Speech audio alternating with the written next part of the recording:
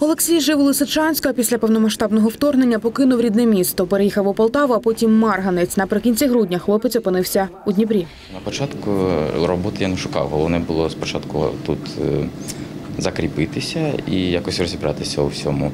А потім вже якось треба було підшукати так роботу, бо коштів не вистачає. У нас зараз практика, і було б непогано. Я вчився на автомеханіка, і було б непогано автомеханіком саме.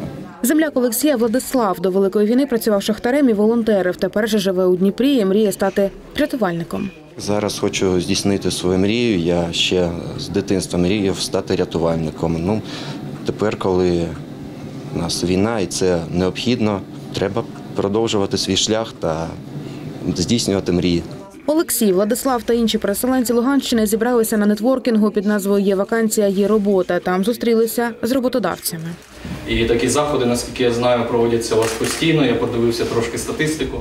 Такі воркшопи необхідні, адже Дніпропетровщина лідер за кількістю прийнятих переселенців з Луганщини, кажуть в обладміністрації. Це 44 тисячі внутрішньопереміщених осіб.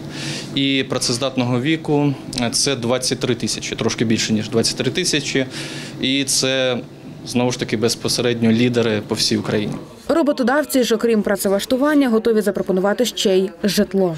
У нас є можливість надавати е, внутрішньопереміщеним людям, які цього потребують, житло, харчування, компенсації, часткові, повні проїзду або проживання.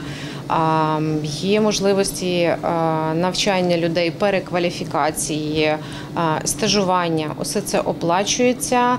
Нам дуже потрібні працівники, які готові працювати. Знайти роботу можна звернувшись до центру зайнятості або онлайн на телеграм-каналі WorkDnipro.ua, кажуть у міській раді. Є телеграм-канал. Щоденно надається інформація про наявні вакансії в місті.